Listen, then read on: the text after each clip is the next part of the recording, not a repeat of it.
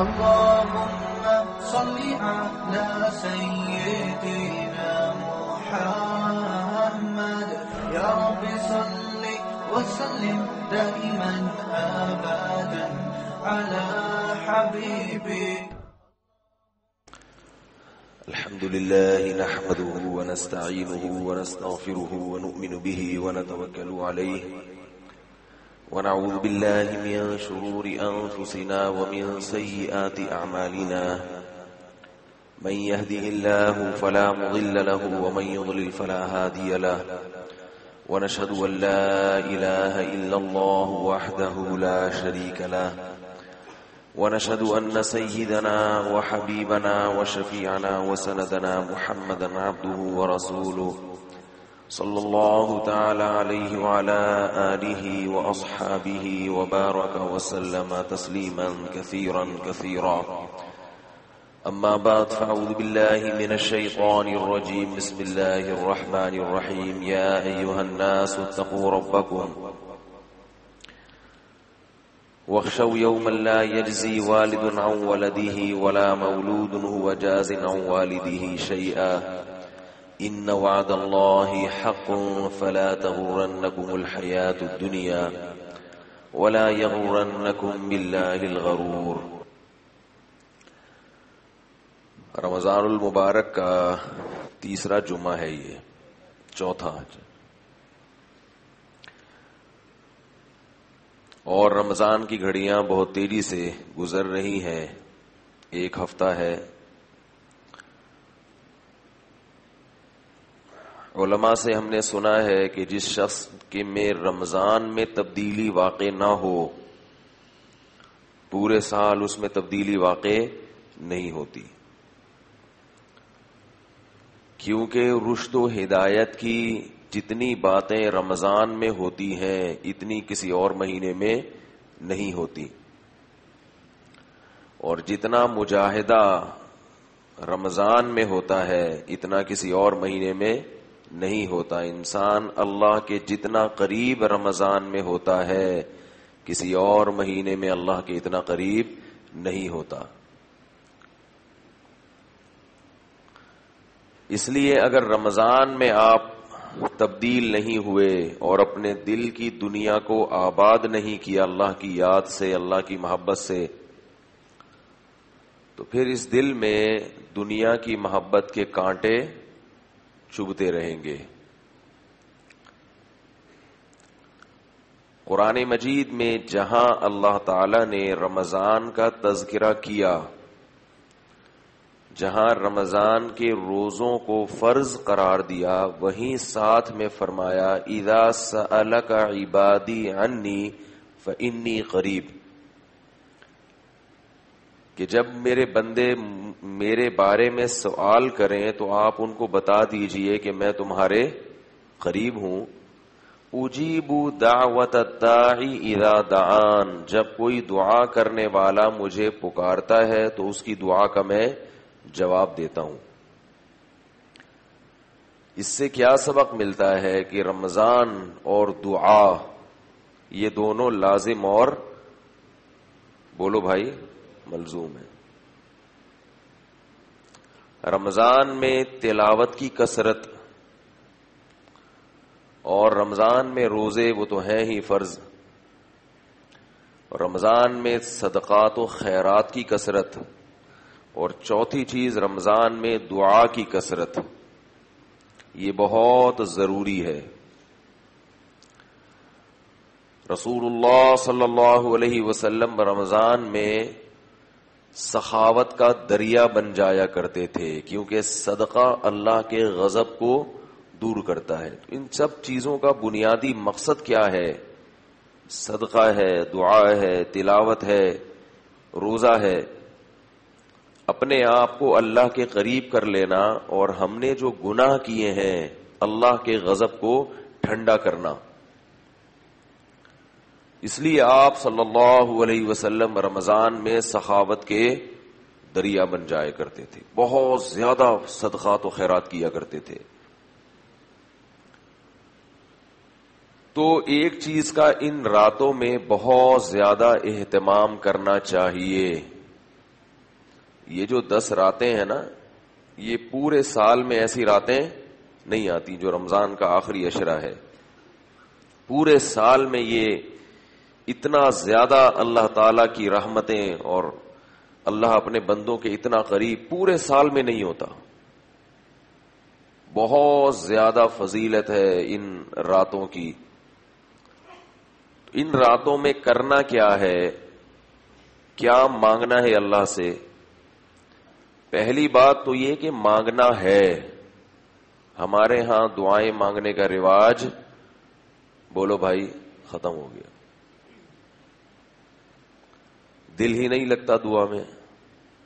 ایسی بے رخی سے مانگتے ہیں، اتنی بد دلی سے مانگتے ہیں کہ اس طرح تو انسان کسی سے قرضہ بھی نہیں مانگتا۔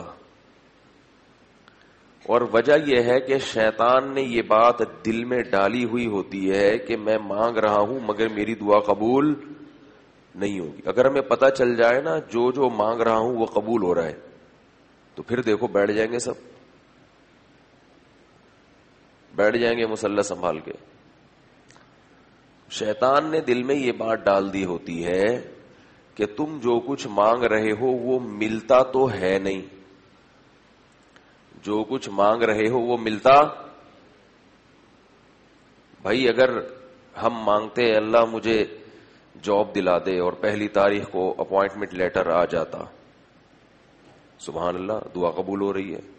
بے روزگار آدمی خود بھی مانگ رہا ہے۔ مولوی صاحب سے بھی کہتا ہے، میرے لیے دعا کرو۔ مگر جو بے روزگار ہے، وہ بے روزگار کا بے روزگار ہی رہتا ہے۔ نظر تو یہی آ رہا ہے نا۔ کوئی مریض ہے ہسپتال میں، اس کی شفا کی دعائیں ہو رہی ہیں، وہ مریض کا مریض ہی رہتا ہے۔ کیا خیال ہے بھائی؟ دعا مانگتے ہیں، اللہ ابا کو ٹھیک کر دے، مگر ابا ٹھیک ہونے کا نام بول لو نا، کیا ہو گیا؟ نہیں لے رہے۔ خود اپنے لیے دعا مانگتے ہیں، اللہ میرا یہ کام کر دے، وہ بھی نہیں ہوتا، یہ کام کر دے، وہ بھی نہیں ہوتا۔ ہو تو کچھ رہا نہیں ہے۔ تو بیٹھ کے لمبی لمبی دعائیں مانگنے سے فائدہ کیا؟ یاد رکھیے، دعا سے بڑھ کر کوئی عبادت نہیں ہے۔ اور دعا مانگنا ہر آدمی کا کام نہیں ہے۔ اس کی توفیق بہت ہی خوش قسمت لوگوں کو ملتی ہے۔ بہت خوش قسمت۔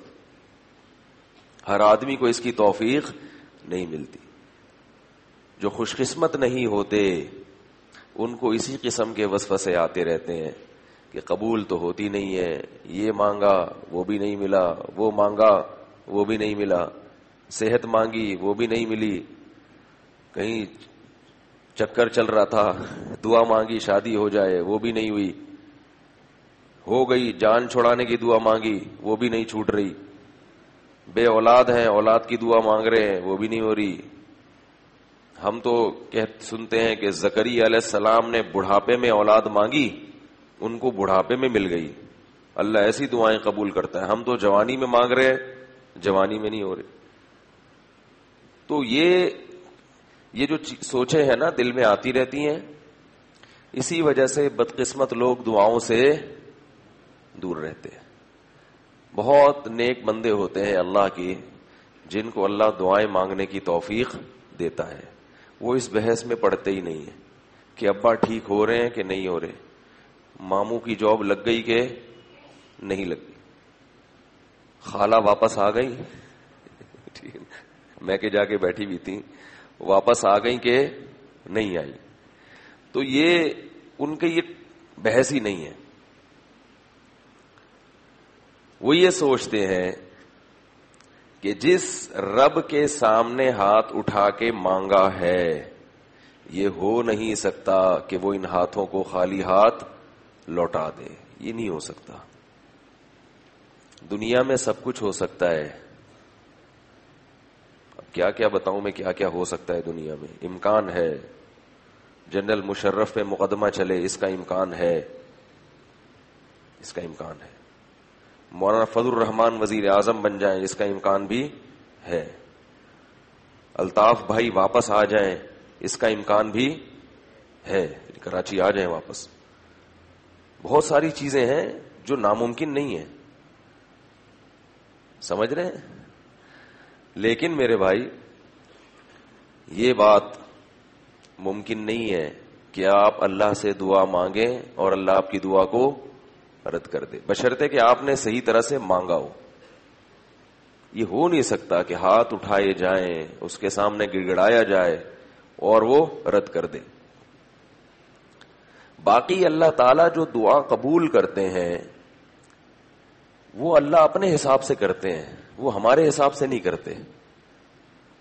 اگر ہمارے حساب سے کرنا شروع کر دیں تو نظام عالم خراب ہو جائے گا۔ ایک تو غیب پر ایمان ختم ہو جائے گا۔ غیب پر یقین وہ باقی نہیں رہے گا۔ اگر میں نے دعا مانگی کہ اللہ فلاں کو ٹھیک کر دے اور فوراً ٹھیک ہو گیا، تو ہسپتال تو بند ہو جائیں گے نا بھائی؟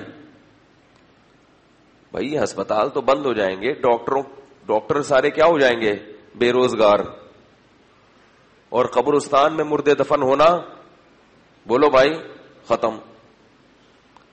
قبرستان میں کون جائے گا پھر؟ تو ہمارا کام ہے دعا۔ بے روزگار اگر سارے اللہ تعالی قرآن میں فرماتے ہیں کہ اگر ہم ولو بسط اللہ رزق عبادی ہی اللہ اگر زمین میں رزق کی اتنی فراوانی کر دے کہ کوئی بھی بے روزگار نہ رہے اور سب کو خوب ملے، لبغو فی الارض، تو سارے انسان میرے نافرمان بن جائیں گے۔ زمین میں کیا پھیل جائے گی؟ سرکشی۔ ہم نے زمین میں کسی کو دولت زیادہ دی، کسی کو دولت کم دی۔ لیت بعضهم بعضا سخریا۔ بعض لوگ بعض کے ماتحت بن کے رہیں، ورنہ سارے کیا بن جائیں گے؟ سردار بن جائیں گے۔ نظام عالم خراب ہو جائے گا۔ میں نے دعا مانگی، اللہ یہ کام ہو جائے، وہ فوراً ہو گیا، آپ نے مانگی، وہ کام ہو جائے۔ اس کا ایک نقصان یہ بھی ہے کہ لوگ پھر دعائیں مانگنے کے لیے قرآن مجید کی ترغیبات کے محتاج نہیں رہیں گے۔ یہ تو کافر بھی مانگے گا دعائیں۔ کافر بھی کہے گا کہ بھائی یوں کر کے اللہ سے مانگو تو دعا قبول ہوتی ہے، تو کیا ضرورت ہے یہ سارے بکھیڑوں میں پڑنے کی؟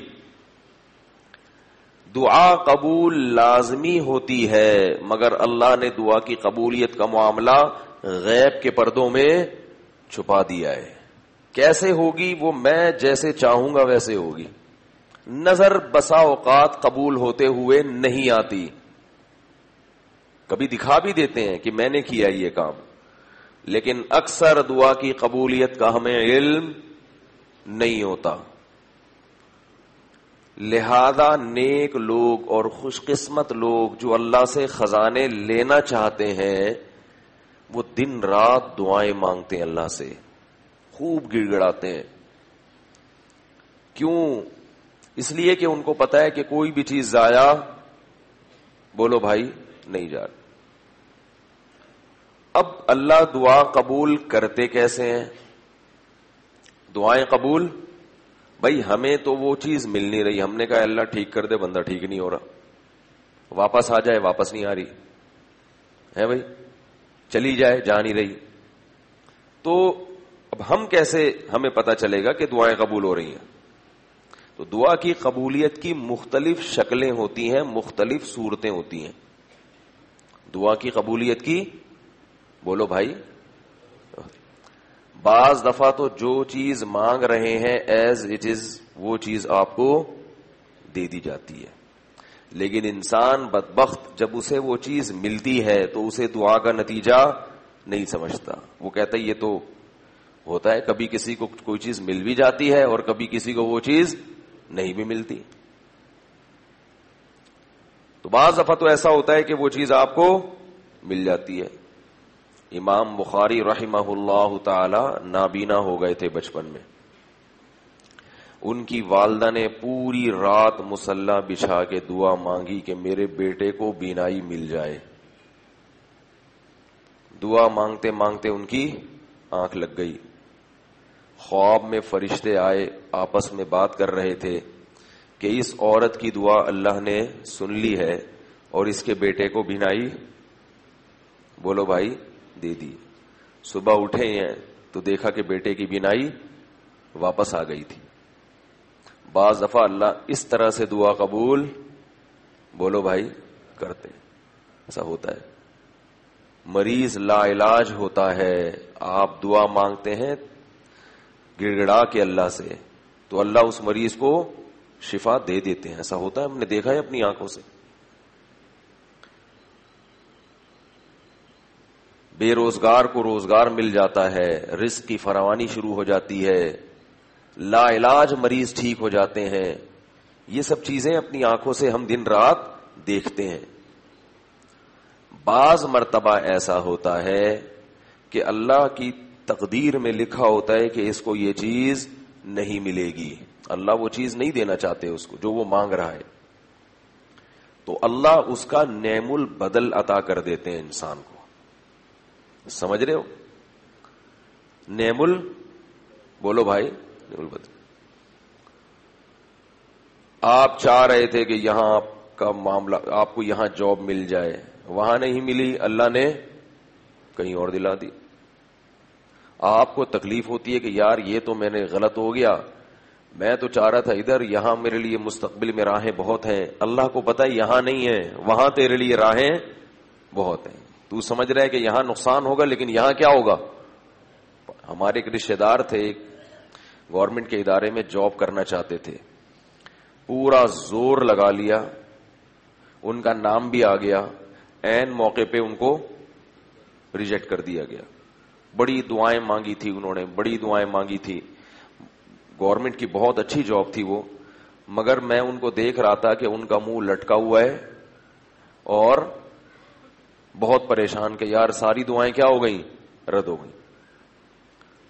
اللہ کی قدرت کے اپنا چھوٹا سا کاروبار شروع کیا، اس میں اللہ نے اتنی برکت دی کہ شکر ادا کرتے ہیں کہ میں، مجھے جاب نہیں لگی تھی۔ تو ایک انداز یہ بھی ہوتا ہے دعا کی، بولو بھائی، قبولیت کا۔ یہ سب باتیں ان کے لیے ہے جو غیب پر ایمان رکھتے ہیں۔ اللہ اس کے رسول پر ایمان رکھتے یہ بھی دعا کی قبولیت کا ایک انداز ہوتا ہے کہ آپ کو وہ چیز نہیں ملی، اس کا کوئی آلٹرنیٹ مل گیا، متبادل مل گیا جو اس سے بھی اچھا تھا۔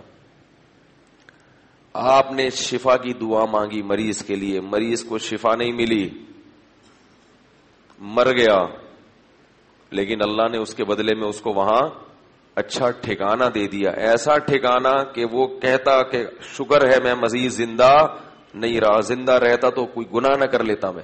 تو یہ بھی اللہ نے آلٹرنیٹ دے دیا نا متبادل۔ صحابہ کرام جب غزوہ عہد میں شہید ہوئے ہیں، بہت زیادہ نقصان ہوا ہے۔ تو اللہ نے فرمایا کہ اس شکست میں ایک مسلحت یہ بھی تھی وہ یتقین کم شہادا اللہ تمہیں شہادت کے مرتبے پر فائز کرنا چاہتا تھا۔ شہادت کی فضیلت دینا چاہتا تھا۔ یہ بہت بڑی فضیلت ہے اللہ کی نظر میں۔ تو بعض دفعہ دعا ایسے قبول ہوتی ہے اور بعض مرتبہ دعا ایسے قبول ہوتی ہے کہ جو چیز آپ مانگ رہے ہیں وہ نہیں ملتی، لیکن جو مصیبت آپ پر آنے والی تھی، اللہ اس کے بدلے میں اس مصیبت کو آپ سے ٹال دیتے ہیں۔ آپ کا بیٹا بیمار ہے، آپ دعا مانگ رہے ہیں، اللہ اس کو ٹھیک کر دے، ٹھیک کر دے، ٹھیک کر دے۔ اللہ کے علم میں یہ بات تھی کہ اس کا دوسرا بھی بیمار ہونے والا ہے۔ اس کو بھی کیا ہونے والی ہے؟ بیماری۔ تو پہلا والا تو ٹھیک نہیں ہوا، لیکن دعاؤں کی برکت سے دوسرے سے بیماری کو اللہ نے ٹال دیا۔ اب ہم چونکہ دیکھ نہیں رہے ہوتے کہ ہم پہ کیا مصیبتیں ٹل رہی ہیں، کون سی پریشانیاں دور ہو رہی ہیں، تو ہم اسی پہ پریشان ہوتے رہتے ہیں، یار میں تو کب سے دعا مانگ رہا ہوں اور انسان ٹھیک ہونے کا نام لے نہیں رہا۔ اور ایک انداز دعا کی قبولیت کا یہ بھی ہوتا ہے کہ کچھ نہ ہو، وہ دعا آخرت میں ڈپازٹ ہو جاتی ہے۔ وہ کیا ہو جاتی ہے؟ اللہ کے بینک میں جمع۔ اور اس پہ سود لگتا ہے پھر۔ کیا لگتا ہے؟ سود۔ بہت بڑا چڑھا کے، کیونکہ ابھی نہیں دیا نا اس دعا کا نتیجہ ابھی نہیں ملا، تو بعد میں جب ملتا ہے، تو اللہ کا اصول ہے کہ اللہ کے پاس کوئی بھی چیز جمع کرائیں گے، تو جب بعد میں ملے گی نا، تو وہ بڑھا کے ملتی ہے۔ پھر کم قسطوں پہ چیز ہمیشہ مہنگی ہوتی ہے۔ تو جب بعد میں ملے گی، اللہ کہتے ہیں یا تو کیش لے لو، اور اگر ادھار پہ چاہیے، بعد میں چاہیے، تو پھر زیادہ دوں گا میں۔ کئی گنا بڑھا کر وہ آخرت میں اس کا اجر ملے گا۔ اور جب انسان اپنی آنکھوں سے اس دعا کے اثرات کو دیکھے گا تو وہ کہے گا کہ کاش میری کوئی بھی دعا قبول نہ ہوتی۔ اس لیے میرے بھائی خوش قسمت انسان وہ ہے جو دعاؤں کو فوکس کرے اور اس بحث میں نہ پڑے کہ ہو رہی ہے قبول کے۔ نہیں ہو، یقین کر لے ہو رہی ہے۔ ہو رہی ہے قبول۔ اللہ کی حکمت ہے مسلحت ہے کہ مجھے اس طرح سے دکھا نہیں رہے۔ اس کی حکمت ہے۔ ہم نے مانگنا ہے۔ اور جو لوگ اللہ والے ہوتے ہیں، جن کے دلوں میں اللہ سے محبت، ان کو دعا کے ایک فائدہ تو کیش حاصل ہوتا ہے۔ دعا میں اور کوئی فائدہ ہو یا نہ ہو، یہ فائدہ ان کو فوراً حاصل ہوتا ہے۔ وہ ہے دل کی تسلی۔ اپنی فائل کہاں داخل کر دی ہے؟ اللہ کی عدالت میں۔ کیس کی سماعت کیا ہو گئی ہے؟ شروع ہو گئی۔ ایپلیکیشن اللہ کی فائل میں بولو بھائی، اس پہ نمبر لگ گیا ہے رجسٹریشن اس کی ہو گئی ہے۔ اب کب نمبر آتا ہے؟ ہمارا جو کام تھا، ہم نے وہ کر دیا۔ لوگ کہتے ہیں نا، بھائی میرا کام اٹکا ہوا ہے یار، تم کرنے، آپ کہہ سکتے ہو، بھائی میں نے ڈاکومینٹس تمہارے سارے جمع کرا دیں ویزا لگنے کا انتظار ہے بس۔ ہے بھائی؟ تمہارے سارے ڈاکومینٹس ہم نے جمع کرا دی ہیں، جو ہمارا کام تھا، ہم نے وہ کر لیا آرام سے چپ کر کے بیٹھ جاؤ۔ ہوتا ہے نا ایسے؟ تو انہیں تسلی ہوتی ہے کہ احکم الحاکمین کے دفتر میں اپنی حاجت کی فائل ہم نے جمع، بولو بھائی، کرا دی ہے۔ ہمارا جو کام تھا وہ ہم نے کر لیا ہے۔ تو تسلی، یہ تسلی بہت بڑی چیز ہے۔ دنیا میں اگر کس کوئی چیز مارکیٹ سے شارٹ ہے تو وہ تسلی ہے۔ ہر آدمی اسٹریس میں ہے اور ڈپریشن کا مریض بنا ہوا ہے۔ سب کچھ ہو کے بھی پریشان ہے، پتہ نہیں کچھ ہو نہ جائے۔ ایسا خوف جس کی کوئی ریزن نہیں ہے۔ یعنی سب کچھ ہے، مگر پھر بھی ڈر رہا ہے کہ کہیں کچھ ہو نہ جائے۔ جس شخص کا اللہ پر ایمان نہیں ہوتا، اللہ پہ اعتماد اور توکل نہیں ہوتا، سارے اسباب اور وسائل کے ہوتے ہوئے بھی خوف زدہ ہوتا ہے۔ اور جس کا اللہ پر ایمان ہوتا ہے، کچھ نہ ہوتے ہوئے بھی اس کو ایک تسلی ہوتی ہے۔ یعقوب علیہ السلام کی مثال ہمارے سامنے ہے۔ بیٹا گم گیا۔ دعائیں مانگتے رہے ساری زندگی۔ مانگتے رہے، مانگ، ایک دفعہ بھی مایوس نہیں ہوئے۔ ذرہ برابری میں مایوسی۔ حضرت زکریہ علیہ السلام کو جو بڑھاپے میں اولاد ملی ہے، تو کیا آپ یہ سمجھتے ہیں کہ انہوں نے بڑھاپے میں دعا مانگی تھی صرف؟ ظاہر ہے وہ تو ساری زندگی مانگتے رہے ہوں گے نا۔ بھائی زکریہ علیہ السلام کو اولاد کی خواہش تو اسی وقت سے تھی جب سے ان کی شادی ہوئی تھی۔ اسی وقت سے اولاد مانگ رہے تھے کہ مجھے اولاد چاہیے، مجھے اولاد چاہیے، میرا والی وارث چاہیے، میرا والی وارث چاہیے۔ لیکن پوری زندگی دعا قبول نہیں ہوئی مگر آپ مایوس نہیں ہوئے۔ بھائی ہمارا کام ہے مانگنا۔ مانگتے رہے مانگتے رہے مانگتے رہے مانگتے رہے۔ لیکن اللہ کی عادت ہے جب دیر سے قبول کرتا ہے نا تو پھر میں نے بتایا نا سود بھی لگتا ہے، جو حلال سود ہے۔ سود بھی لگتا ہے۔ اللہ نے دیر سے قبول کی مگر پھر ایسا بیٹا دیا جو سب پہ بھاری کہا کہ پھر ایک بیٹا ملے گا مگر وہ سب پر بھاری ہوگا۔ ذکر رحمتی ربی کا آبدہ زکریہ پوری سورہ مریم میں اللہ نے حضرت زکریہ کا تذکرہ کیا، ابتدا وہاں سے کی۔ تیرے رب کی اس رحمت کا ذکر ہے جو اس نے اپنے بندے زکریہ پر کی۔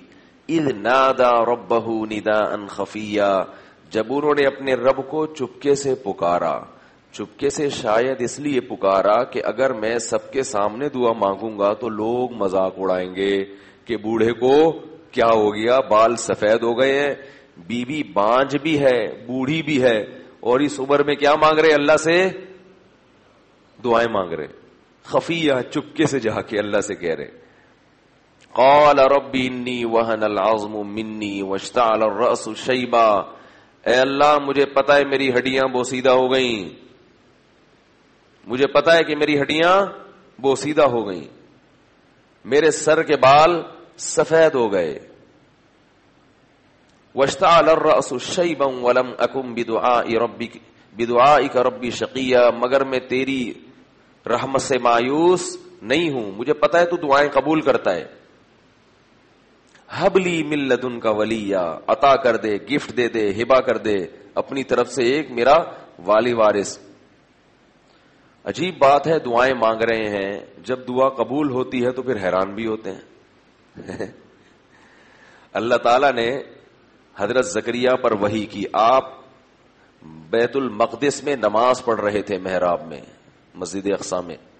مسجد اقسا بڑی زبردست مسجد ہے۔ ہزاروں پیغمبروں کی قبریں ہیں وہاں اور ہزاروں پیغمبروں نے نمازیں پڑھی ہے وہاں۔ تو محراب میں اللہ نماز پڑھ رہے ہیں کہ فرشتے نے آپ پر آ کے وہی کی۔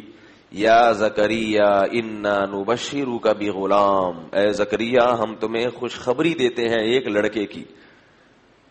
چونکہ دیر سے مل رہا ہے، تو خوشخبری بھی کیسی؟ اس منہ اس کا نام کیا ہوگا؟ یا ہوگا۔ اللہ نے پہلے سے رکھ دیا۔ کہ اب جب گفٹ مل رہا ہے، تو پھر توحفہ ایسا ہو کہ خوش تو ہو لم نجعل له من قبل سمیا اے زکریہ اس سے پہلے اس نام کا کوئی بھی دنیا میں نہیں گزرا۔ اب جب خوشخبری مل گئی، قال ربی انا یقون غلام۔ اللہ، میرے کہاں سے بیٹا پیدا ہو جائے؟ وہی پھر مانگ کیوں رہے تھے؟ میرے کہاں سے بیٹا پیدا ہو جائے گا؟ میں تو بڈھا ہو گیا وہ مراتی آخر اور میری بیوی کیا ہے؟ بانج۔ جوانی میں بانج ہوتی ہے تو اولاد نہیں ملتی، اب تو بوڑھی بھی ہو گئی۔ اب کیسے اولاد ہو جائے گی؟ قال كذلك فرشتے نے کہا، اللہ کی طرف سے ایسا ہی ہوگا۔ قال ربک، تیرے رب نے ایسا ہی کہا ہے۔ وقد خلقتك من قبل ولم تك شيئا اے زکریہ اللہ نے تجھے بھی پیدا کیا ہے، تو کچھ بھی نہیں تھا۔ کچھ بھی نہیں تھا، آدم سے وجود میں لے آیا۔ تو بوڑھوں کو جوان کر کے اولاد نہیں دے سکتا۔ حضرت زکریہ کی اللہ نے دعاؤں کے مختلف الفاظ ذکر کیے، لا تذرنی فردن اے اللہ مجھے تنہا نہ چھوڑ۔ مجھے، دیکھو زکریہ علیہ السلام اکیلے نہیں تھے، بنی اسرائیل تھے آپ کے ساتھ ایمان لانے والے، مگر اولاد نہ ہونے کو تنہائی سے تعبیر کیا ہے۔ یہ بات سمجھ میں نہیں آتی تو گوروں کو جا کے دیکھو، سب کچھ ہے، مگر بڑھاپے میں تنہا زندگی گزارتے ہیں۔ آپ کی تنہائی آپ کا اہل و عیال آپ کا خاندان دور کرے گا۔ دوست احباب، تنہائی اور وحشت کو دور نہیں کرتے۔ تو یری سنی و یری سمن آل یاقوب۔ اللہ فرماتے ہیں کہ ہم نے کیا کیا؟ زکری علیہ السلام کو کہا کہ آپ تو کچھ بھی نہیں تھے اور ہم نے آپ کو پیدا کیا، تو بڑھاپے میں اولاد نہیں دے سکتا۔ اب اللہ کی طرف سے خوشخبری جب آ گئی نا، اتنے خوش کہ جلدی کہ اب جلدی چاہیے۔ اللہ کی نعمت ہے، اب جلدی چاہیے۔ اب پتا چل جائے، اس زمانے میں حمل کے علامات مشکل ہوتی تھی کہ پتا چل جائے کہ حمل ٹھہر گیا ہے۔ تو اب جلدی کے جیسے ہی زوجہ کو حمل ٹھہرے، مجھے فوراً پتا چل جائے۔ تو رب علی آیا، اے اللہ، کوئی نشانی بتا دے کہ مجھے فوراً پتا چل جائے کہ میری زوجہ کو حمل ٹھہر گیا۔ فوراً پتا چل جائے، دیر نہ ہو۔ قال آیتک اللہ تکلم الناس ثلاث لیال سویا۔ اے زکریہ تیری زبان بند ہو جائے گی تین دن کے لیے۔ تو صرف اشاروں سے بات کر سکے گا۔ یہ زبان بند ہونا اس کی علامت ہوگی کہ تیری زوجہ کو حمل ٹھہر گیا ہے۔ اللہ نے سورہ انبیاء میں فرمایا کہ ہم نے ان کی زوجہ کو بھی صحت دی اور اولاد دی۔ کیوں؟ بڑے اہم الفاظ ہیں۔ فرمایا، اس بڑھاپے میں زکریہ اور اس کی بیوی کے ساتھ رحمت کا یہ معاملہ کہ اسباب ایک طرف ان تمام اسباب کو اللہ نے فیل کر دیا۔ یہ معاملہ کیوں کیا؟ کانو یوساری فی الخیرات، یہ دونوں نیکیوں میں بڑھ چڑھ کے آگے بڑھا کرتے تھے۔ شوہر بھی اور بیوی بھی۔ یہ ساری کا مانا مقابلہ ہوتا تھا۔ شوہر چاہتا تھا کہ میری نیکیاں زیادہ ہوں، بیوی چاہتی تھی کہ تو اللہ تعالیٰ پھر ان کی دعاؤں کو قبول کرتے ہیں اور ایسے ایسی نعمتیں ان کے ساتھ کرتے ہیں جو عام لوگوں کے ساتھ نہیں ہوتی۔ اور ان کو نیک اولادیں دے کر نوازتے بھی ہیں۔ آج اللہ کے لیے ہم کچھ بھی کرنے کے لیے تیار نہیں ہیں۔ اور اللہ سے اپنی ساری باتیں منوانا چاہتے ہیں۔ سارے کام اللہ ہمارے کر دے۔ ہم اللہ کے لیے۔ بولو بھائی۔ کچھ بھی نہ کریں تو ایسا نہیں ہوگا بھائی۔ اللہ کو قربانی دینے والوں کی ادائیں پسند ہیں۔ تو زکری علیہ السلام کو بڑھاپے میں اولاد کی خوشخبری ملی۔ تو اللہ فرماتے یا یا خود الکتاب بقوہ وآتیناہ الحکم صبیہ۔ قرآن کا انداز ہے۔ یہ نہیں کہا قرآن نے کہ پھر بیٹا پیدا ہو گیا، پھر بڑا ہوا، پھر یہ ہوا۔ نہ نہ اے یحیا اس کتاب کو مضبوطی سے تھام لے۔ وآتیناہ الحکم صبیہ، فرمایا ہم نے ان کو بچپن میں ہی نبوت عطا کر دی۔ عیسیٰ علیہ السلام اور یحییٰ علیہ السلام یہ دو پیغمبر ہیں جن کو نبوت بچپن میں ملی ہے۔ تو دیکھو بھائی، میں جلدی سے بات کو سمیٹتا ہوں کہ دعائیں مانگنے میں بخل سے کام نہیں لے۔ اب دعاؤں میں ہو کیا رہا ہے؟ اجتماعی دعاؤں کو زیادہ فوکس کیا جا رہا ہے، انفرادی پر زور۔ اجتماعی بھی جائز ہیں۔ دعا سکھانے کے لیے کبھی کبھار امام صاحب کو چاہیے کہ اجتماعی دعا کرائے تاکہ لوگوں کو دعا کے بول یاد ہو دعا کرنا ہے۔ یہ بھی ٹھیک ہے، ضروری ہے۔ لیکن دعا میں اصل کیا ہے؟ انفرادی۔ کیوں؟ قرآن کہتا ہے، ادعو ربکم تضرعا وخفیا۔ اپنے رب کو پکارو آجزی کے ساتھ اور چپکے سے۔ دعاؤں میں چیخو پکار اللہ کو پسند۔ بولو بھائی، نہیں۔ چیخو پکار تو ویسے بھی اللہ کو پسند نہیں ہے۔ سورہ لقمان میں ہے نا وقز بن سعودک اپنی آواز کو کیا کرو؟ پس کرو۔ ان ان کرل اسوات لسوت الحمیر۔ سب سے بری آواز کس کی ہے؟ گدے کی۔ کیوں بری آواز ہے؟ کیا بات غلط کرتا ہے گدا؟ بات تو وہی کرتا ہے، دوسرے جانور کر رہے ہوتے ہیں۔ بھائی گدے کو گھاس چاہیے تو بولتا ہے وہ، گھوڑے کو گھاس چاہیے، وہ بھی بولتا ہے۔ بلی کو گوشت چاہیے، وہ بھی میاؤں میاؤں کرتی ہے۔ گدھے کی بات غلط نہیں ہوتی، اسٹائل غلط ہوتا ہے۔ بھائی، تجھے کچھ چاہیے تو آرام سے بھی کہہ سکتا ہے نا؟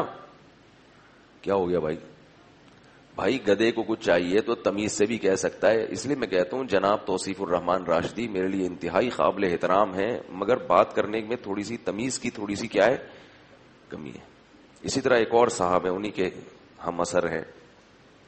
تو ان حضرات کے جب کلپ میرے پاس آتے ہیں نا کہ ان کا علمی انداز سے جواب دیں، تو میں کہتا ہوں وہ علمی انداز سے گفتگو ہوگی تو میں علمی انداز سے جواب دوں گا۔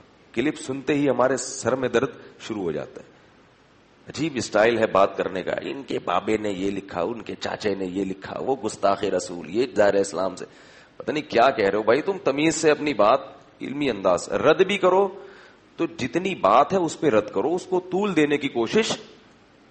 میری کسی بات پر اعتراض ہے کہ اس نے مثال کے طور پر ایک غلط الزام لگا دیا، ایک کسی بزرگ پہ فرض کرو، اللہ نہ کرے میں ایسا کروں۔ تو آپ ٹو دا پوائنٹ بات کریں، یہ انہوں نے یہ کہا ہے، حالانکہ یہ اس کا مطلب یہ ہے۔ یہ ایسا نہیں بلکہ یہ ایسا۔ ختم ہو گئی بات۔ یہ تو ہے ہی ایسے، ان کا تو مقصد ہی غلط ہے۔ اپنی تقریر زیادہ ہوگی اور کام کی بات کم ہوگی۔ چیختے زیادہ ہیں۔ تو یہ خود ان کے باطل ہونے کی، بولو بھائی، دلیل ہے۔ گدھا اتنا برا نہیں لگتا چیختا ہوا۔ جتنا یہ چیختے ہوئے برے لگتے ہیں۔ تو اس لیے کوئی تمیز سے بات کرنا کا ہوگا تو پھر اس کا کلپ انسان سنتا ہے کہ جناب غامدی صاحب میں ایک اچھی بات ہے کہ بات تمیز سے کرتے ہیں۔ بات غلط ہوتی ہے بسا اوقات، لیکن کم از کم سنی جا سکتی ہے کہ تمیز سے ہوتی ہے، کوئی لبو لہجے میں کچھ ہے شائستگی۔ تو اس لیے میں کہتا ہوں کہ وہ ان حضرات کو بھی چاہیے کہ تھوڑی سی انڈی سے تمیز سیکھ لو۔ تو باقی میں یہ نہیں کہہ رہا کہ غامدی صاحب باتیں صحیح کرتے ہیں، وہ باتیں بڑی عجیب عجیب باتیں بھی کرتے ہیں۔ کچھ صحیح بھی ہوتی ہے لیکن ماشاء اللہ اس پہ میں رد کرتا رہتا ہوں، اس کی بھی ڈیٹیل میں جانے کی ضرورت نہیں ہے۔ لیکن اللہ نے قرآن میں کیا فرمایا، سب سے بری آواز کس کی ہے؟ گدے کی۔ حالانکہ گدے کی باتیں غلط نہیں ہوتی۔ اسٹائل کیا ہوتا ہے؟ غلط۔ اسٹائل کی بڑی اہمیت ہے اسلام میں۔ تو کبھی کبھار ٹھیک ہے، انسان جوش میں آ جاتا ہے، چیخ و پکار بھی ہوتی ہے، کبھی کبھار تو چلو ٹھیک ہے، آپ کا اسٹائل ہی یہ بن جائے۔ کیا آپ کا پتہ ہی نہیں چل رہا کہ آپ انسان ہو، آپ کو اچھے خاندان سے تعلق رکھتے بھی ہو یا کیا ہے، آپ کا کچھ عجیب۔ تو پھر یہ معاملہ خراب ہو جاتا ہے، پھر ہم سے نہیں سنا جاتا ایسا۔ کیونکہ انسان ایسی چیزیں سن کے اس کے اپنے اخلاق بھی خراب ہوتے ہیں۔ وہ پھر آ کے اسی اسٹائل میں شروع کر دے گا۔ تو خیر۔ تو میں یس کر رہا تھا کہ اجتماعی دعاؤں پہ زور ہے، انفرادی پہ زور، بولو بھائی، نہیں ہے۔ تو اللہ نے فرمایا کہ اپنے رب کو چپکے سے پکارو اور آجزی کے ساتھ۔ دعاؤں میں میں نے دیکھا ہے کہ لوگوں سے ہاتھ نہیں اٹھ رہے ہوتے۔ ہاتھ یوں رکھے ہوئے ہوتے ہیں، ایسے سستی میں نا۔ یوں ہاتھ رکھے ہوئے ہوں گے۔ کبھی ادھر دیکھ رہا ہے، کبھی وہاں دیکھ رہا ہے، کبھی اوپر دیکھ رہا ہے، کبھی نیچے دیکھ رہا ہے۔ بعض ناک میں دعا کے دوران انگلی گھما رہے ہوتے ہیں۔ حقیقت ہے۔ اس طرح سے اللہ دعائیں قبول۔ بولو بھائی۔ نہیں کرتے۔ بعض نے منہ پہ ہاتھ رکھا ہوا ہوتا ہے۔ تو نہیں، یوں کر کے اب شرم سے شاید منہ چھپا رہے ہوتے ہیں، کیا کر رہے ہوتے ہیں۔ تو اس لیے دعا جب مانگیں تو ہاتھ بولو، بھائی ایسے کر۔ اس میں کچھ نہیں ہوگا، کوئی تھک گئے تو تھوڑی دیر کے لیے رکھ لیں، پھر اٹھا لیں۔ دوسری بات یہ کہ دعا مانگنی کیا ہے؟ کس چیز کو فوکس کرنا ہے دعا میں؟ سب سے پہلے دعا میں اللہ کی حمد و ثنا کرنی چاہیے۔ پھر رسول اللہ صلی اللہ علیہ وسلم پر درود بھیجنا چاہیے آپ کے احسانات کو یاد کر کے۔ اس کے بعد جو چیز سب سے زیادہ ضروری ہے وہ سب سے پہلے مانگنی چاہیے۔ بھائی، آپ ایک بہت بڑے بادشاہ کے دربار میں گئے۔ آپ کو پتا ہے کہ یہ مجھے ہیرے جواہرات کی بوریاں دے سکتا ہے اور آپ اس سے جا کے پان مانگ رہے ہو، گٹکا مانگ رہے ہو۔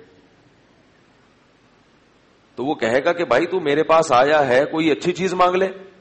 جب اچھی چیزیں، اعلیٰ چیزیں ختم ہو جائیں تو پھر گٹکے پہ بھی آ جائیں گے، نسوار کی ڈبیاں بھی دے دیں گے تجھے۔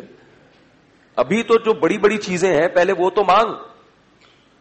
ہمارے ہاں دعائیں شروع کس سے ہوتی ہیں؟ اللہ جاب دلا دے اللہ بیماری کو ٹھیک کر دے اللہ۔ یہ جاب مل بھی گئی تو مرو گے تو ختم ہو جائے گی۔ بیماری سے شفا مل گئی تو بھی ہمیشہ کے لیے نہیں ملے گی۔ بڑھاپا آئے گا، پھر بھی مارو گے، مر جاؤ گے۔ یہ دنیا کی نعمتیں ہیں، یہ مل بھی گئی تو دوبارہ پھر چھینیں گی۔ ہمیشہ کے لیے کسی کو نہیں ملیں گی۔ اصل گھر ہے آخرت۔ جہاں ہمیشہ ہمیشہ کے لیے رہنا ہے، تو آخرت کو زیادہ مانگنا چاہیے۔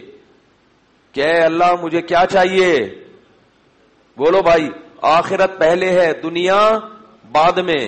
اس کی اہمیت زیادہ ہونی چاہیے۔ حدیث میں ہمیں دعا سکھائی ہے۔ لا تجعل مصیبتنا فی دیننا۔ اے اللہ، اگر ہماری قسمت میں کوئی مصیبت لکھی ہوئی ہے، تو ہمارے دین کو اس سے بچا کے رکھنا۔ نہیں آ رہی بات۔ یعنی اللہ، اصل تو یہ کہ ہر مصیبت سے ہمیں بچا۔ لیکن اگر مصیبت آنی ہی ہے، لکھ دیا ہے تو نے، تو ہمارا دین اس سے محفوظ، دنیا کی طرف پھیر دینا۔ دنیا کا نقصان کر دینا، مگر آخرت کا نقصان نہ کرنا، کیونکہ دنیا کے نقصان کی تلافی ہوگی، آخرت کے نقصان کی تلافی نہیں ہو سکتی۔ صحابہ کرام کی دعائیں کیا ہوتی تھی جو نبی کے پاس آ کے دعائیں منگواتے تھے؟ آج کل لوگ پتہ کیا دعا منگواتے ہیں؟ سب سے زیادہ جو میرے پاس میسجز آتے ہیں نا، کہ بہت ہی زیادہ ضروری کام ہے مفتی صاحب سے۔ ایسے میسجز آئے ہوئے ہوتے ہیں کہ اگر میں نے اس کا فون نہیں اٹھایا تو یہ مر جائے گا بلڈنگ سے چھلانگ لگا دے گا۔ یہ جو میں اتنا زیادہ ان چیزوں میں بولتا ہوں نا شادیوں وانی بھائی انہیں کی وجہ سے بولتا ہوں میں۔ نوجوانوں میں چل کیا رہا ہے؟ بہت زیادہ ضروری کام ہے۔ حضرت، فون نہیں اٹھایا تو مر جاؤں گا۔ مفتی کس بات کے ہو؟ ایسے تانے تو مجھے یہ ہوتا ہے کہ پتہ نہیں کوئی مر رہا ہوگا، ابھی اس نے وسیعت کرنی ہے، تو میں بعض دفعہ کال بیک کر لیتا ہوں۔ کیس یہی نکلتا ہے سیٹنگ چل رہی ہے۔ حقیقت بتا رہا ہوں۔ ابا مان نہیں رہے۔ ابا نے بھی انکار کر دیا، ماں بھی نہیں مان رہی، اور میرے بھی ابا نہیں مان رہے، میری بھی اما نہیں مان رہی، اور اب تو لڑکی نے بھی انکار کر دیا۔ میں مشورہ لینا چاہتا ہوں آپ سے، کیا کروں؟ ابھی کچھ دن پہلے ایک صاحب آئے، وہ یہی کہہ رہے تھے، یہاں مسجد میں آئے۔ ابا نہیں بھی مان رہے، اما بھی نہیں مان رہی، اپنے میرے ابا بھی نہیں، اس اس کے ابا بھی نہیں، میری اما بھی نہیں، اس کی اما بھی نہیں، اور پہلے تو وہ مان رہی تھی وہ بھی نہیں۔ اس کے لیے انہوں نے کیا لیا؟ ٹائم مانگا مجھ سے۔ آپ سے بہت ضروری ملاقات۔ نہ جب اس کے باپ مان رہا ہے، نہ اس کی ماں مان رہی ہے، نہ تیرا باپ راضی، نہ تیری ماں راضی، اور نہ وہ لڑکی راضی۔ تو کیا اندھی لگی ہوئی ہے بھائی؟ شادی میں آئے ہو کیا؟ اتنے مزے دسوں انگلیاں گھی میں۔ ایسا تھوڑی ہوتا ہے۔ نکلو پتلی گلی سے۔ کہہ رہے تھے کوئی وظیفہ۔ میں نے کہا جی، کوئی وظیفہ نہیں، نکلو یہاں سے۔ تو زیادہ تر دعائیں کیا ہوتی ہیں؟ کوئی دنیا کا کام اٹکا ہوا ہے اور وہ کام پورا ہو جائے۔ ٹھیک ہے، انسان ہے، دنیا بھی مانگنی چاہیے۔ حدیث میں آتا ہے، جوتے کا تسمہ بھی اللہ سے مانگو، وہ ٹوٹ جائے تو۔ لیکن جو چیز جتنی زیادہ ضروری ہے، اس کو اتنا زیادہ فوکس کرنا چاہیے۔ سب سے زیادہ ضروری کیا ہے؟ کامیابی کی ڈیفینیشن کیا ہے؟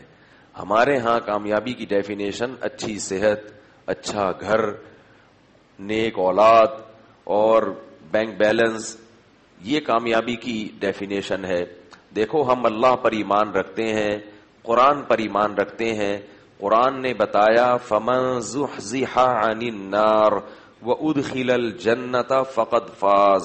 جسے میں نے جہنم کی آگ سے بچا لیا اور جنت میں داخل کر دیا۔ یہ ہے حقیقی معنوں میں کامیاب۔ یہ ہے کامیاب۔ تو سب سے زیادہ اللہ سے جہنم کی پناہ اور جنت مانگنی چاہیے۔ سب سے زیادہ۔ اے اللہ، مجھے قبر کے عذاب سے بچا، میدان حشر کی سختیوں سے بچا، وہ دن جو انسان کو بوڑھا کر دے گا۔ اے اللہ، مجھے جہنم کی آگ سے بچا۔ قرآن میں اللہ نے نیک بندوں کی جو صفات بیان کی ہیں، ان کی دعائیں لازمی بیان کی ہیں۔ انبیاء کے جہاں اللہ واقعات بیان کرتے ہیں، نبیوں کی دعاؤں کا بھی تذکرہ کرتے ہیں کہ نبی نے یہ دعا مانگی، نبی نے یہ دعا مانگی، نبی نے یہ دعا مانگی، فلاں نبی نے یہ دعا مانگی۔ وہ دعاؤں کے الفاظ بڑے خوبصورت ہوتے ہیں۔ انبیاء بہت دعائیں مانگا کرتے تھے۔ حالانکہ انبیاء تو بخشے بخشائے ہیں۔ ان کو کیا ضرورت تھی؟ تو اللہ نے اپنے نیک بندوں کی دعاؤں میں جو، نیک بندوں کا جو تذکرہ کیا نا، سورہ فرقان کا آخری رکو وعباد الرحمن الذين يمشون على الأرض هونا وإذا خاطبهم الجاهلون قالوا سلاما والذين يبيتون لربهم سجدا وقياما والذين يقولون ربنا صرف عنا عذاب جهنم إن عذابها كان غراما إنها ساءت مستقرا ومقاما فرمایا دو قسم کے لوگ ہیں، کچھ شیطان کے بندے اور کچھ رحمان کے بندے، شیطان کے بندوں کی صفات بیان کرنے کی ضرورت نہیں ہے، وہ مارکیٹ میں اتنے زیادہ ہیں کہ تمہیں خود بخود ان کی صفات نظر آ جائیں گی۔ ان کی ضرورت نہیں ہے کہ وہ کیا کرتے ہیں۔ وہ چور بھی ہوتے ہیں، وہ چکے بھی ہوتے ہیں، وہ پینے پلانے سے شخص بھی رکھتے ہیں۔ وہ ماں باپ کے نافرمان بھی ہوتے ہیں، وہ سود بھی کھاتے ہیں، وہ کرپ بھی ہوتے ہیں، وہ ظالم بھی ہوتے ہیں۔ ان کی صفات بیان کرنے کی ضرورت بولو بھائی نہیں ہے، وہ ایش پرس بھی ہوتے ہیں۔ وہ نماز نہیں پڑھتے، وہ زکات نہیں دیتے، وہ حج نہیں کرتے۔ رحمان کے بندے ہیں نا، اللہ نے ان کی صفات کو ہائی لائٹ کیا ہے۔ عباد الرحمان الذین یمشون الارض ہونا فرمایا زمین میں آجزی کے ساتھ چلتے ہیں۔ آج دیکھو، ذرا سا کوئی عہدہ آ جائے نا تو اپنی اوقات بھول جاتا ہے۔ میں یہ ہوں، میں یہ ہوں، میں یوں ہوں، میں فلانا ہوں۔ اور فرمایا کہ یبیتون لربہم سجدا وقیاما راتیں گزرتی ہیں سجدے اور قیام میں۔ یہ جو تراوی کی نماز ہم پڑھتے ہیں نا، یہ بار بار اٹھک بیٹھک ہوتی ہے اس میں۔ رکو سجدہ، پھر اٹھنا، پھر رکو سجدہ۔ تو اللہ کو یہ ادا بھی پسند آتی ہے۔ انہو یرا کا ہین تقوم و تقلب کا ساجدین تقلب کسے کہتے ہیں؟ الٹنے پلٹنے کو۔ اللہ نے اپنے نبی کو تسلی دی کہ آپ غم نہ کریں۔ جب آپ نماز کے لیے کھڑے ہوتے ہیں نمازیوں کے درمیان، تو اللہ آپ کے اس عمل کو دیکھ رہا ہوتا ہے۔ اور سجدہ کرنے والوں میں آپ جو الٹ پلٹ رہے ہوتے ہیں، بار بار سجدے رکو صحابہ کے ساتھ اللہ اس عمل کو بھی بولو بھائی، دیکھ رہا ہوتا ہے۔ تو یہ ترابی میں اس کی بڑی اچھی مثال ملتی ہے کہ بار بار سجدہ، پھر رکو پھر سجدہ، پھر رکو پھر قیام۔ تو یہ جو الٹنا پلٹنا ہے، تقلب ہے، اللہ اس عمل کو دیکھ بھی رہے ہوتے ہیں اور دیکھ کر خوش بھی ہو رہے ہوتے ہیں اور خاص اپنے پیغمبر کو اللہ بتا بھی رہے ہیں کہ میں اس عمل کو دیکھ رہا ہوں۔ تو کیا کہہ رہا تھا میں؟ چھوٹی سی بات تھی۔ ہاں اللہ نے اپنے بندوں کی صفت بیان کی یبی تون علی ربیم سجدوں و قیامہ راتوں کو سردے اور قیام قیام کرتے ہیں۔ پہلے پورا سال تو مسلمان رات میں عبادت نہیں کرتا تھا، رمضان میں راتوں کو کر لیا کرتا تھا۔ اور رمضان میں پھر چھوٹی تو آخری اشرے میں تو کرنا۔ پہلے تو ایسا ہوتا تھا کہ تحجد سب پڑھتے تھے پورے سال۔ بھائی یہ تو بہت اہم نماز ہے۔ جب مسلمانوں میں دینی کمزوری آئی تو تحجد صرف رہ گئی رمضان میں، کہ رمضان میں تو راتوں کی عبادت کرنی ہے۔ چلو پورے سال نہیں کرتے۔ پھر رمضان سے بھی گئی اور کس میں آ گئی؟ کہ بھئی چلو آخری اشرا ہے، اس میں تو عبادت کر لو۔ اور پھر آخری اشرے کی جفت راتوں سے نکل کے سمٹ کے آ گئی کہاں؟ تاک راتوں میں۔ اب کرکٹ کے میچوں نے تاک راتوں میں عبادت کو بھی ختم کر دیا ہے۔ ہر دور میں یاد رکھو، اللہ سے روکنے والی قوتیں ہمیشہ موجود ہوتی ہیں جو آپ کو اللہ کی یاد سے غافل کریں گی۔ اس کرکٹ کو کیا ضرورت ہے رمضان کی راتوں میں کھیلنے کی اللہ کے بند تلاوت کرو، نماز پڑھو، ذکر کر لو۔ کیا ضرورت ہے؟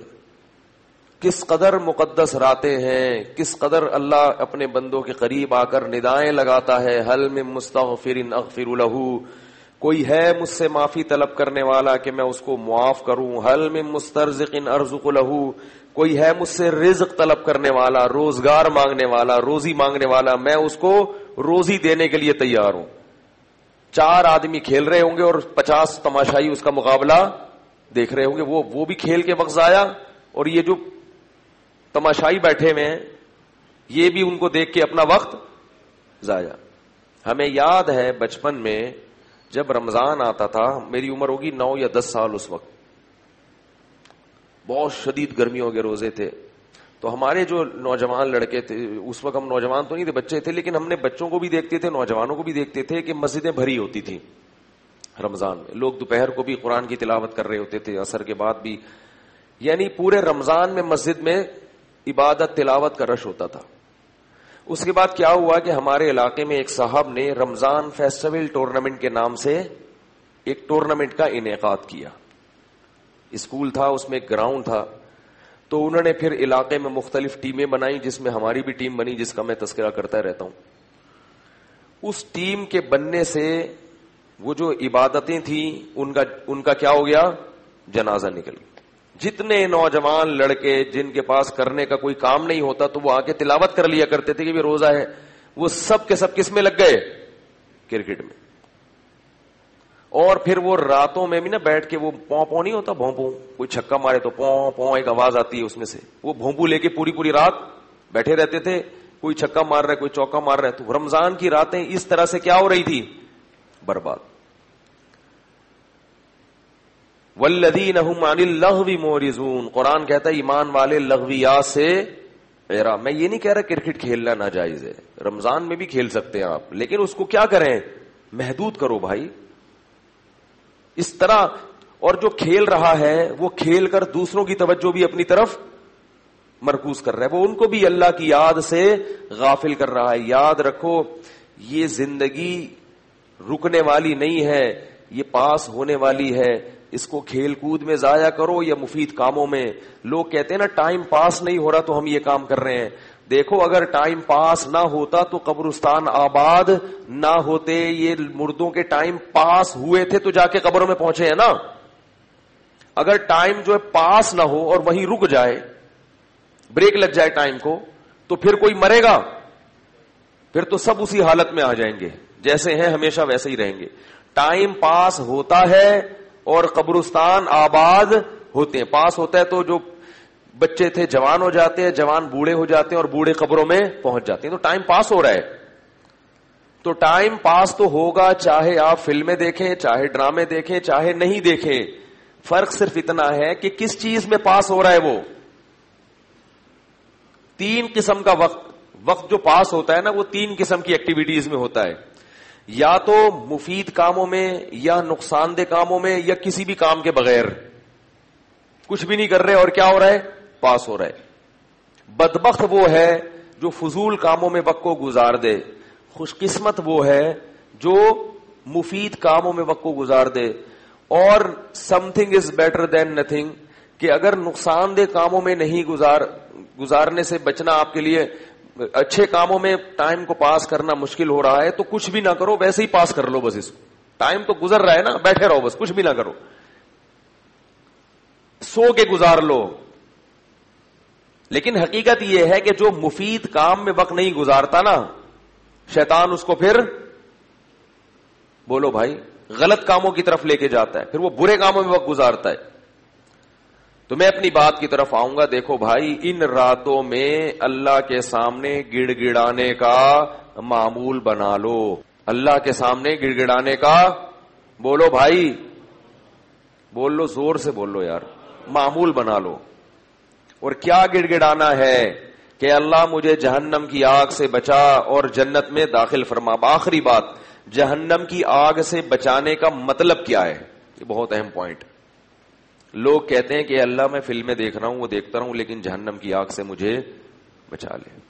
میں ماں باپ کو ستاتا ہوں، وہ تو ٹھیک ہے، لیکن آگ سے مجھے بچا لے۔ میں سود کھا رہا ہوں، بینک میں جاب کر رہا ہوں سودی بینک میں، وہ تو مجبوری ہے، لیکن اللہ جہنم کی آگ سے مجھے بولو بھائی بچا لے۔ اے اللہ، میں داڑھی نہیں رکھتا لیکن جہنم کی آگ سے مجھے بچا لے۔ اے اللہ، میں نماز نہیں پڑھتا، بس معاف کر دے۔ تو بڑا غفور رحیم ہے۔ یہ مطلب نہیں ہے۔ یہ مطلب یہ مذاق ہے شریعت کے ساتھ۔ کیونکہ اللہ نے گناہوں پر جہنم کا وعدہ کیا اور نیک اعمال پر جنت کا۔ تو جب جنت مانگی جاتی ہے، جنت والے اعمال کے ساتھ اور جب جہنم سے پناہ مانگی جاتی ہے تو جہنم والے اعمال سے بھی پناہ مانگی جاتی ہے۔ یہ مطلب ہوتا ہے، جب کوئی کہتا ہے، اللہ مجھے جہنم سے بچا لے، تو مطلب یہ ہے کہ ان اعمال سے بچا لے جو مجھے جہنم کے قریب لے کے جاتے ہیں۔ حدیث میں دعا سکھائی ہے اللہ انی اعوذ بک من النار وما قرب الیہا من قول و عمل۔ اے اللہ، مجھے جہنم کی آگ سے بچا اور ہر اس قول اور عمل سے جو جہنم کی آگ کے قریب کر دے۔ تو گناہوں سے توبہ کی توفیق مانگنا یہ ہے جہنم کی آگ سے پناہ۔ تو آپ کو اپنے گناہوں کا علم ہوگا تو مانگو گے نا۔ پتہ ہی نہیں ہے، محاسبہ ہی نہیں ہے، مراقبہ ہی نہیں ہے۔ مراقبہ وہ والے نہیں جو ٹی وی میں ہو رہے ہیں مراقبے سینٹر۔ مراقبے کا مانا اپنا احتساب کرے انسان بیٹھ کے، سوچے کہ کل قیامت آئے گی۔ تو سوچتے ہی نہیں ہے تو بھائی کہاں سے جہنم کی آنکھ سے بچت ہوگی؟ کلن اخدنا بدمبی ہی اللہ فرماتے ہیں، ہر قوم کو ہم نے اس کے گنا پہ پکڑا ہے، ہر قوم کو۔ گناہوں پہ اللہ کا عذاب آتا ہے۔ گناہ کر کے اللہ سے رحمت کی امیدیں لگانا پرلے درجے کی حماقت اور بے وقوفی ہے۔ تو بھائی، ان راتوں میں، اور یہ جو حدیث میں آتا ہے نا کہ جہنم کی آگ سے خلاصی ملتی ہے رمضان میں تو یاد رکھو، ان لوگوں کو ملتی ہے جو رمضان میں گناہوں سے توبہ کر لیتے ہیں۔ توبہ نہیں کرتے، ایک کروڑ رمضان ان کی زندگی میں آ جائیں۔ ان کو جہنم سے خلاصی نہیں ملتی۔ کیسے سمجھائیں بھائی؟ نہیں ملے گی۔ اگر آپ نے اس رمضان میں انٹرنیٹ پر بےحدہ فلمیں دیکھنے سے توبہ نہیں کی، سچی توبہ، جہنم کی آنکھ سے خلاصی نہیں ملے گی۔ اگر آپ نے اس رمضان میں لڑکیوں سے حرام، دوستیوں سے توبہ نہیں کی، جہنم کی آگ سے خلاصی، بولو بھائی، نہیں ملے گی۔ اگر آپ نے بوڑھے ماں باپ کے سامنے اپنے لہجے کو سخت کرنے سے توبہ نہیں کی، جہنم سے خلاصی نہیں ملے گی۔ زنا سے، شراب سے جوے سے۔ جوا بہت کھیلا جا رہا ہے۔ اسنوکر اسنوکر جو کھیلے جاتے ہیں نا ان میں جوا بہت کھیلا جا رہا ہے اس میں۔ کرکٹ میں جوا لگا کے کھیل رہے ہیں لوگ۔ ان نمل خمر مئی سرو الزام اللہ نے فرمائی یہ رجس ہے، جوا اور شراب۔ شیطانی عمل ہے، چھوڑ دو اس کو۔ کھیل رہے ہیں صبح شام۔ اگر جوے سے، سٹے سے توبہ نہیں کی تو جہنم سے خلاصی۔ بولو بھائی، اگر داڑھی کاٹنے سے توبہ نہیں کی تو بھی جہنم میں جانے کا خطرہ۔ بول لو نا یار، موجود ہے۔ اگر وراثت بہنوں کے حوالے نہیں کی تو سو رمضان آپ کی زندگی میں آ جائیں، جہنم کی آنکھ سے خلاصی بولو بھائی نہیں ملے گی۔ بہنوں کی وراثت سے حج نہ کیا کرو، اللہ کا واسطہ۔ حج فرض ہے اور اب تک نہیں کیا تو جہنم کی آنکھ سے خلاصی۔ لوگ کہتے ہیں رمضان میں مر گیا، شوال میں مر گیا، سیدھا جنت میں۔ ایسا نہیں ہوتا بھائی۔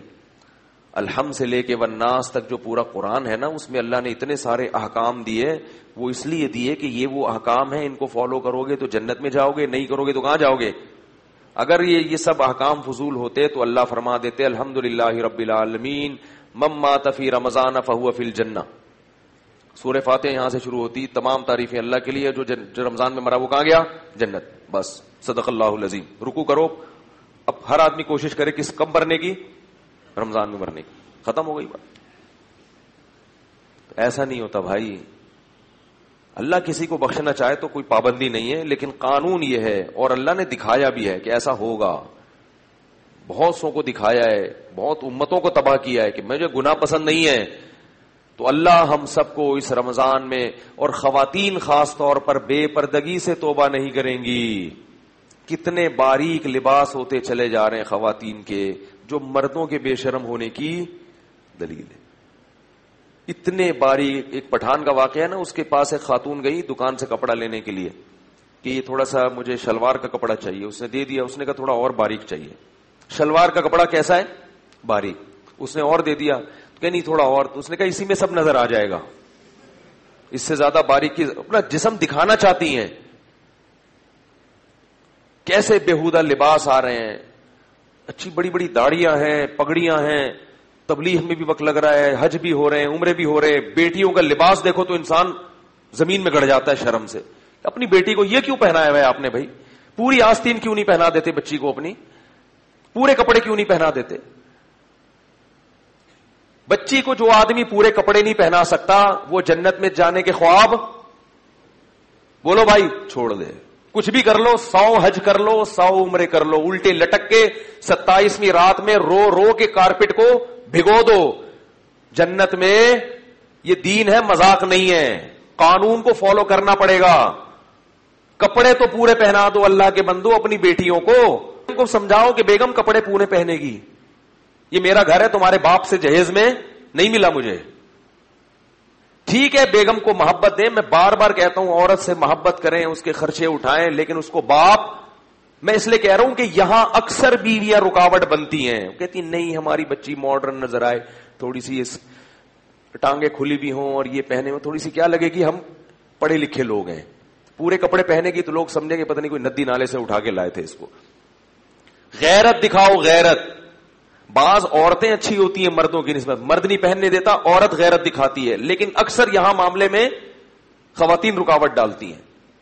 کیونکہ اللہ نے ہر ایک کو، عورت میں اللہ نے حیا زیادہ رکھی ہے، مگر غیرت اللہ نے مرد میں زیادہ رکھی۔ اس لیے میں مردوں کو کہہ رہا ہوں کہ تمہاری بیٹی ہے، تم پورے کپڑے کیوں نہیں پہناتے اس کو؟ بازار میں کپڑے ہی شارٹ ہے لڑکیوں کے پورے۔